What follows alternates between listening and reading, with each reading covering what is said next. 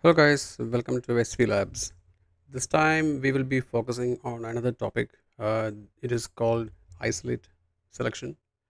Uh, uh, people who uh, people who are coming from 3ds Max, they already know what this is.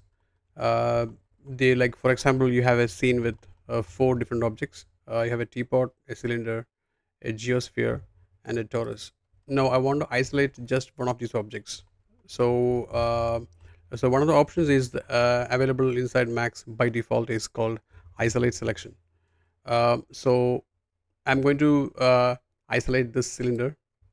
Okay, so select the cylinder, then you click on this button over here. So it's called isolate selection toggle. Okay, so if you cl click that, this object will be the object selected will be uh, uh, will be framed, and also the all objects will be hidden. So this is a temporary um, uh, uh, like setup that you can you, you can use to uh, to focus your work on a on a single object. So when i toggle it back on all the objects will be uh, shown or displayed. Um, so this is in max. So people who are familiar familiar with uh, with max already know about this. Or there's a keyboard toggle. Uh, it is uh, alt q.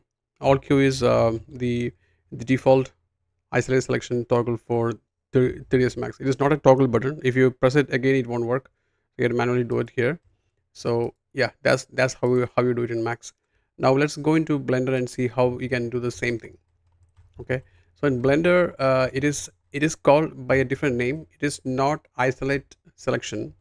Uh, like uh, like for example if i need if i want to isolate this this monkey head you have to select that uh, object first then go into view then it is called local view.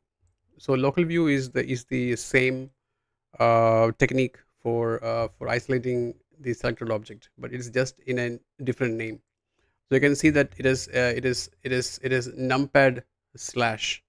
So you can use either the numpad slash or the uh, the other slash key uh, that you find just beside the shift button. So i just click, click the uh, slash button here. You can see that it is getting isolated. But here this this this keyboard shortcut is a toggle. So if you click that again it will be un, uh, unisolated. Okay? So it is called local view and it's under uh, view local view and toggle local view. You can use the menu as well. Toggle again you can go into local view toggle back again. So that is how you isolate uh, an object inside blender. Thanks for watching guys